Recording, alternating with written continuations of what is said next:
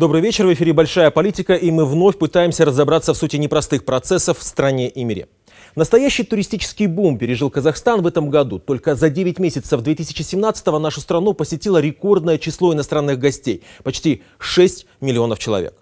И это говорит о том, что Казахстан укрепляет свои позиции на карте международного туризма и что задача довести до 8% долю туризма в структуре ВВП за 8 лет вполне выполнимая, хотя, очевидно, и не без трудностей. У нас нет массового туристского продукта. Во-вторых, э, у нас еще очень слабое э, маркетинг и продвижение казахстанского турпродукта. Э, кроме того, в принципе, нет четкого понимания вообще, в чем особенность казахстанского турпродукта, в чем его сильные стороны, какие есть вопросы вот, в части того, чтобы как его позиционировать на целевых рынках. Важно, что для развития туризма присутствует главное. Казахстану есть что показать. Бескрайние степи, вызывающие восхищение горы, многоводные реки. Интерес вырос, причем здесь очень любопытный фактор, который нов и для России, и для стран СНГ. Вы сперва начали создавать продукт, причем продукт качественный, а потом уже формировать к нему спрос. А, для нас это ново. Клиенты, они очень истосковались по-настоящему, по-настоящему, по аутентичному продукту, и в Казахстане они смогут найти и то, и другое. На телевизионные картинки уже и не отличишь иной курорт на побережье Копчегайского водохранилища от расположенного за 3-9 земель водоема с благоустроенными пляжами. Я видел много красивых мест на Земле, но хочу сказать подрастающему поколению и современникам, сейчас я никуда не хочу ездить на отдых. Сейчас мы находимся в Бурабае. Такого великолепного места я больше нигде не видел до этого времени. Первозданная природа как рай на земле. Есть и озеро, и горы, и вода. Такая же природа в восточном Казахстане. Иртыш на 80% состоит из казахстанских источников. Предгорье Алатау — отдельная тема.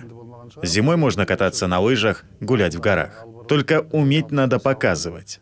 Кстати, смысл программы Нуруэжоу многие еще не до конца понимают. Мы в своей истории еще никогда не строили столько дорог, охватывающих такие бескрайние просторы. Можете пойти и спросить, жители Южного Казахстана когда ездили по таким просторным дорогам. Сейчас доехать из Шимкента в Алматы можно очень быстро. И действительно, в республике создается инфраструктура, добраться из города в город все проще, а владельцы мест отдыха все чаще создают по-настоящему хорошие условия для туриста. И он отвечает взаимностью. Я приехал сюда, в Казахстан из Австралии. Я взял несколько дней отпуска и первым делом приехал в Астану, а уже затем прилетел в Алматы. После Экспо, конечно, осталось много впечатлений. Мы очень любим Казахстан, мы очень любим, у нас много друзей в Казахстане, и мы желаем всего самого наилучшего, и чтобы выставка была успешной и удачной. Один из туристических продуктов, который Казахстан готов предложить туристу местному или зарубежному – Астана – Астана – это город с колоссальным туристическим потенциалом, который может предложить самый широкий спектр услуг, начиная от бюджетных вариантов, заканчивая гостиницами класса люкс, э, известных мировых брендов. Поэтому каждый турист, э, в зависимости от своего бюджета, может найти для себя те э, объекты, те сферы интереса, которые он может посетить или ознакомиться. А за главным казахстанским городом подтягиваются и остальные. Туристическая привлекательность, она ведь не просто узнаваемость приносит, но и неплохой вклад в бюджет. На этом все. Всего доброго.